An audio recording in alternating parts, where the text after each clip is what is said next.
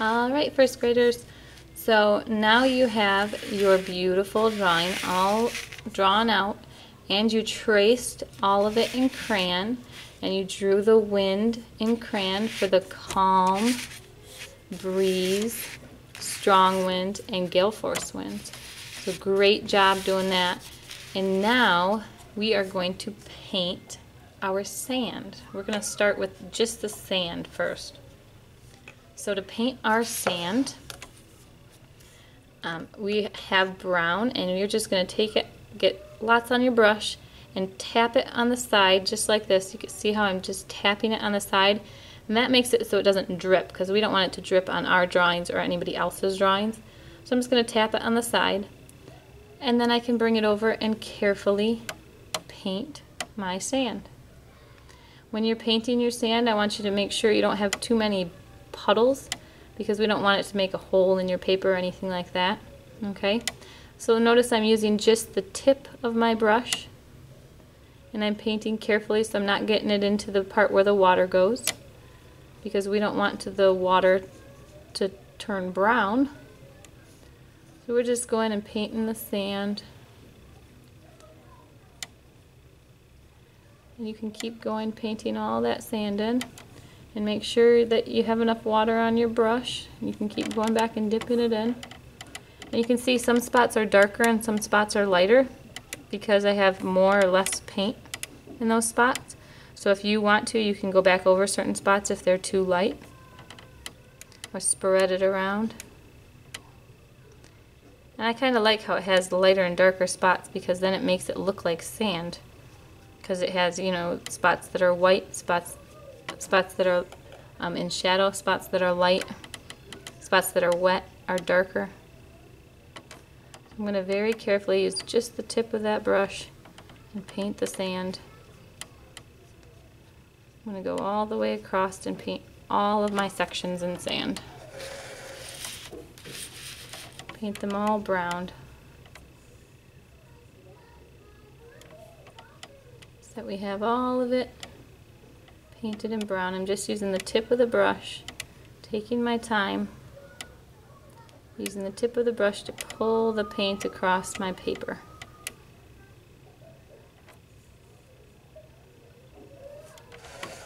I'm going to keep going, just tipping the, just using the tip of the brush and dipping it in the paint when I need it and tapping it on the side so that it doesn't drip everywhere.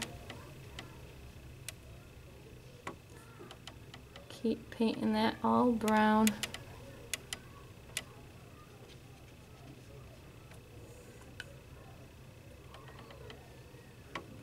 Filling the whole thing in. You want to be careful you don't have too much water in any spot. So if you have a lot of water, just keep pushing it with your brush and spread it around because if you have too much, it could rip your paper or it'll make your paper all wrinkly and it won't look as nice.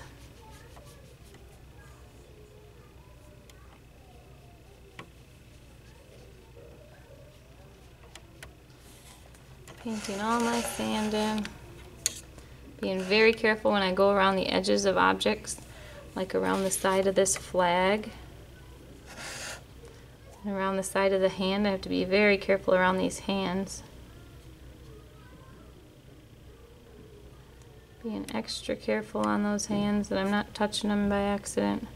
Just using the tip of the brush so I can follow right along the edges of lines. Just the tip of the brush.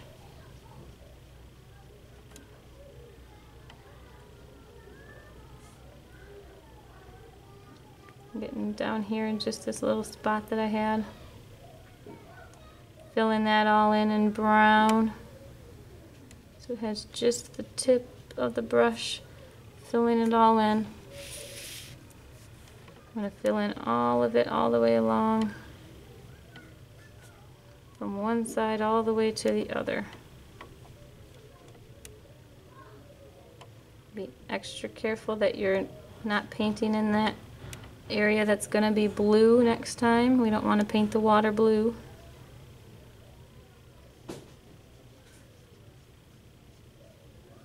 Using just the tip of the brush very carefully so I'm not splattering around, not making a mess.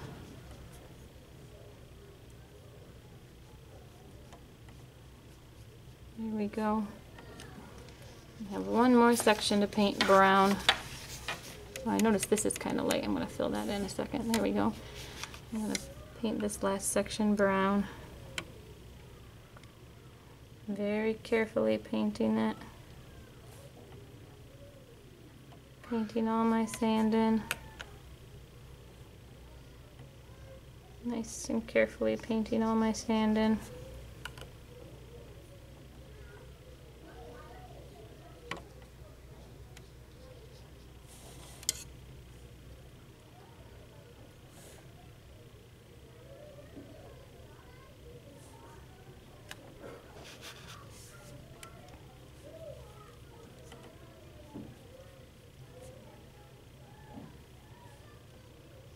Painting it all in. And the watercolor paint dries really quickly. So you'll notice it'll start soaking into the paper and it'll dry pretty fast. And paint the whole thing.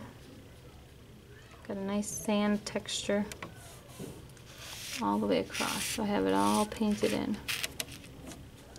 You can see it still has some wet spots, still drying a little bit.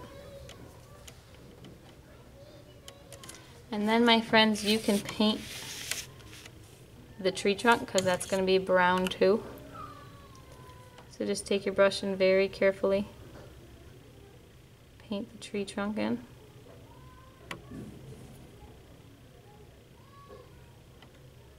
I'm going to make sure I fill it in really nicely all the way up to the top.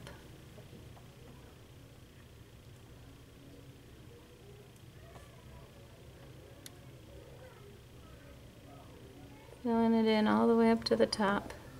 And you can actually paint right over top of the crayon that you did, so you don't even have to stay inside those lines. You can actually paint right over top of it. Just be careful that when you get by the part with the water that you're not going over the edge of the crayon lines. There we go. Got my tree painted in. I've got my sand painted. And now we're ready for water.